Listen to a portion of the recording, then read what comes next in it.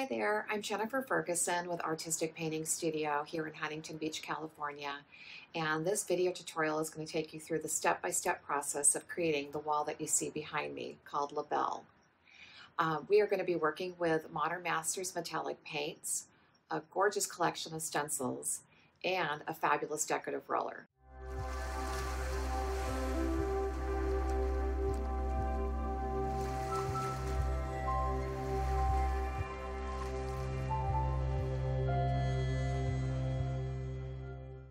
So my inspiration, you guys, is one of my canvases. And I thought this would just make a stunning statement wall.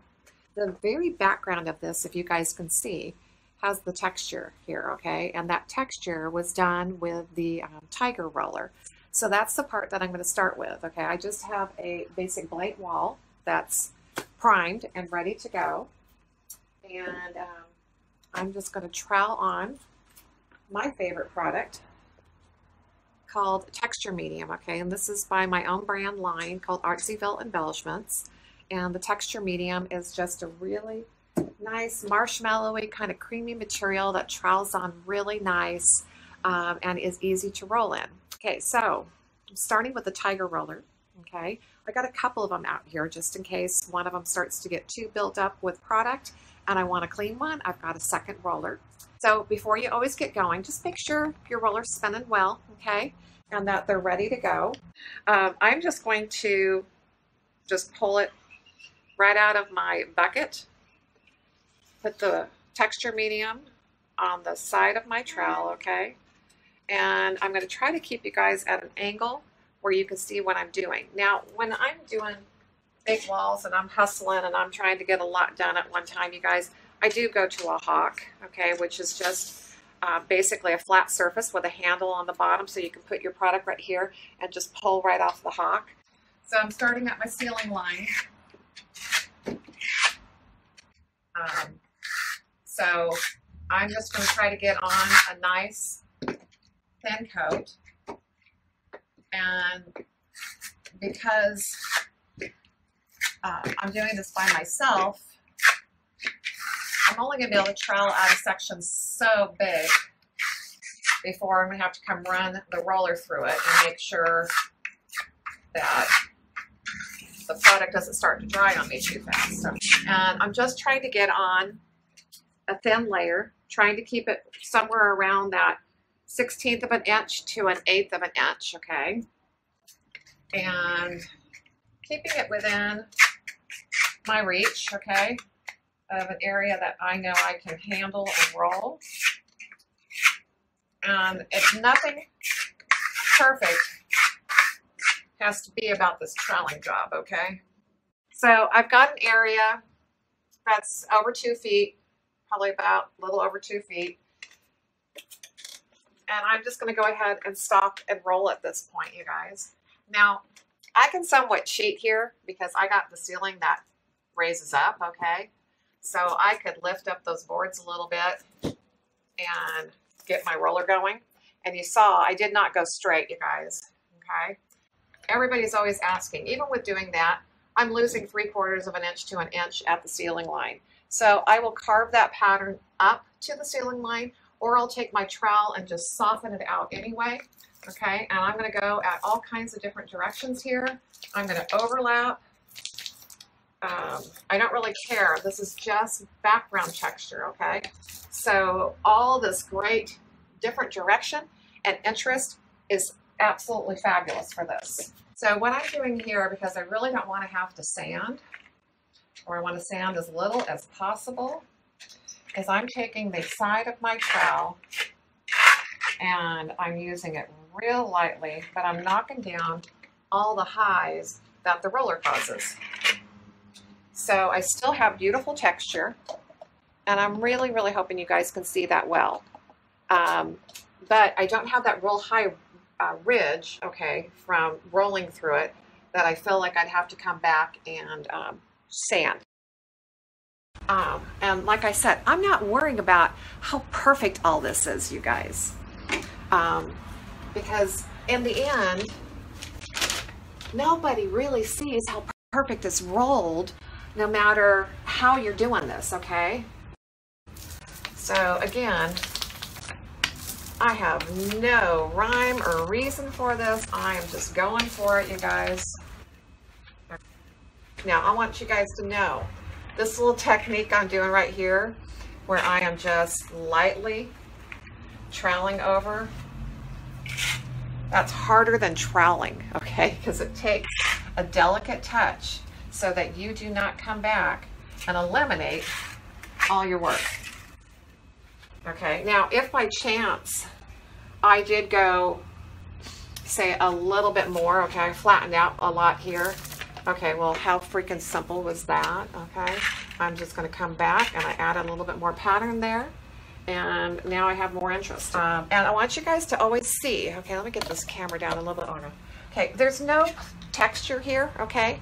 So when I'm hitting the wall, I'm hitting out here in open land, okay, where there's no texture, so that I don't end up putting a trowel mark in the middle of something and feather into my work, okay?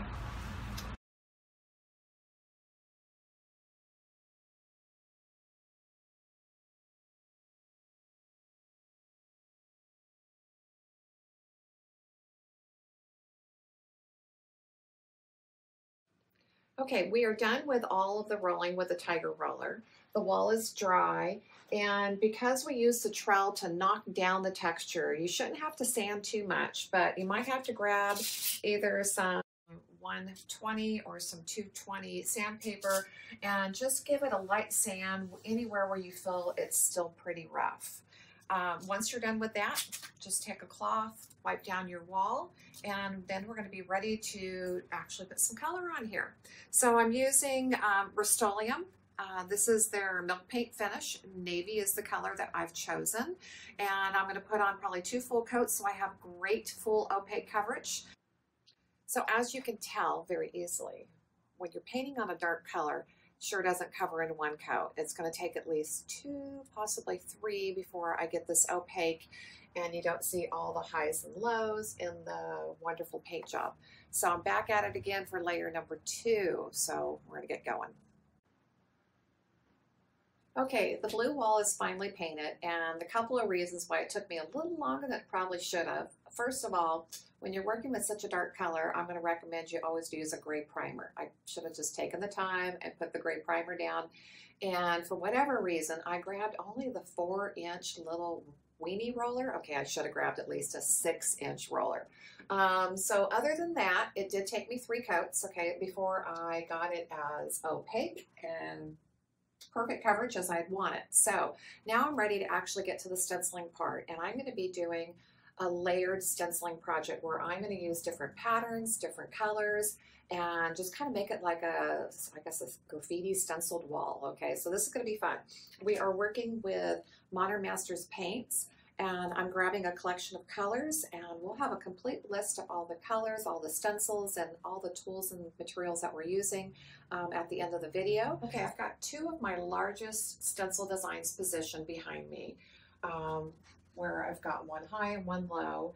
And these are going to be like the larger designs are going to be in the background. So I'm going to pick some of my lighter colors. We're going to start with Oyster and Champagne. Again, these are the Modern Masters metallic paints. And um, I'm going to show you guys how to dry brush um, and how to do this. To create a dry brush, I'm just going to pick up some of the wet paint. Um, this is just a serving tray that I have that I've lined with press and seal, so it's giving me a large surface to work the paint into the brush. And then I know this is going to feel kind of crazy, but you're going to go over to that paper towel and you're basically going to take it all back off. So you end up with what's called a dry brush. This is the only technique that really prevents you from seeping underneath the stencil because if you don't get your brush dry enough, it will go underneath. So you can either pounce on the color or you can swirl it for a real soft um, application.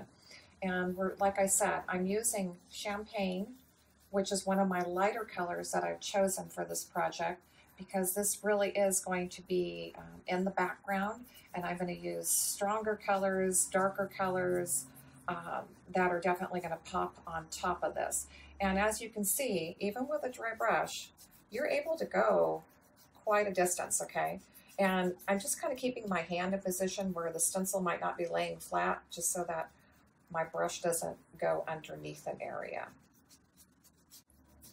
once you have done a section, you can always peek and see if you've got the intensity level that you want, and that way you can make adjustments if you need to.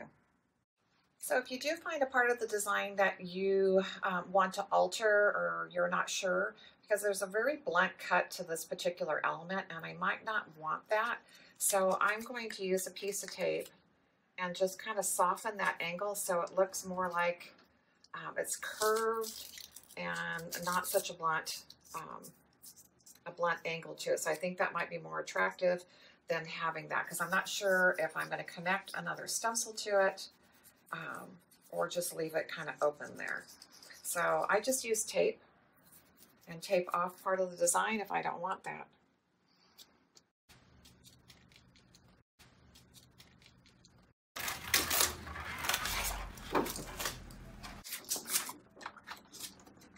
And there is our very first repeat. Um, that looks awesome. It's very light, very subtle, but that is the look I'm going for because I'm going to be building and building. And I have chosen um, light colors, okay? So all the metallic colors I chose were light because I want them to lighten up this dark wall and create a really nice, um, strong contrast.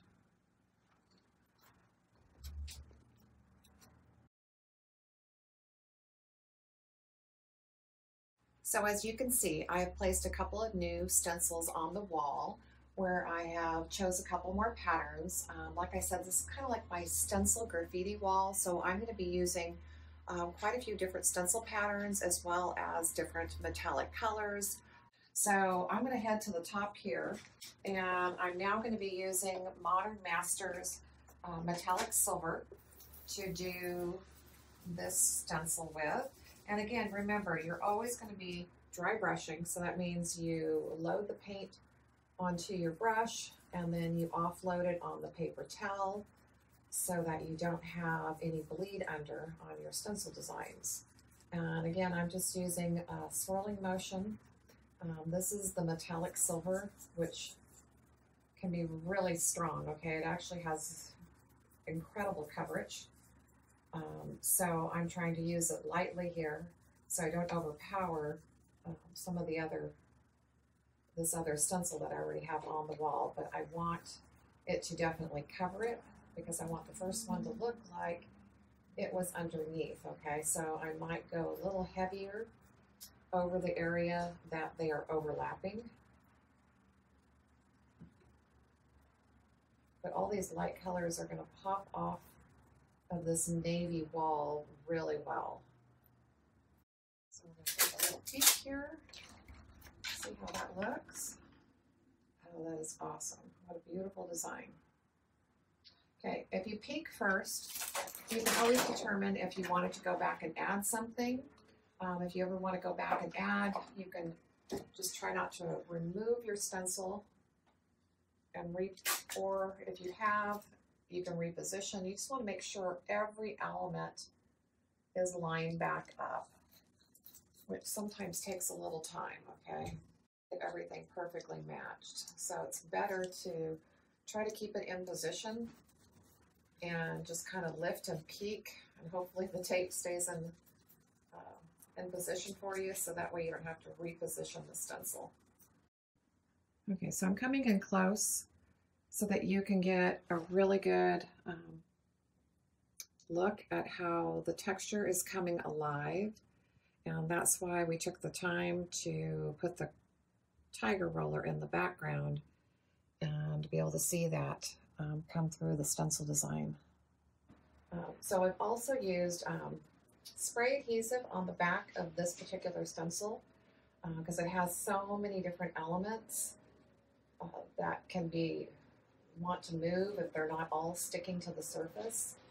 Um, so I'll show you, that'll actually be in the, the list of products so it's just a process of choosing different patterns. I try to find designs that are different sizes as well so that I'm kind of balancing my art. Um, and then you'll always see me do everything in odd numbers. So you'll find the same design in here three times or possibly five times, but you'll never see it twice, okay? It'll always be an odd number. So I'm just gonna continue to paint and you can watch along.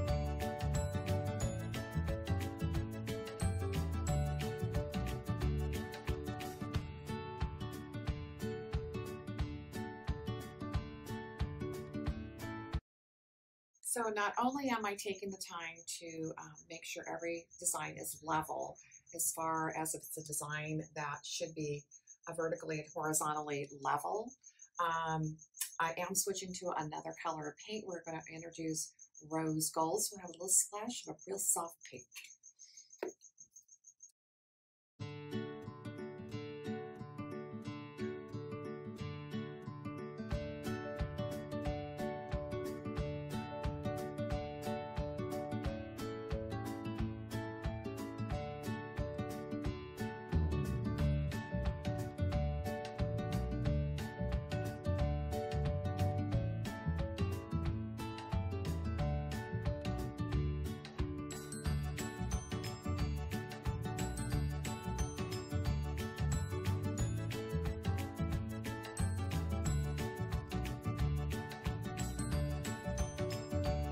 So thanks for hanging out with me. This has been a very fun process and I hope you've enjoyed it as well.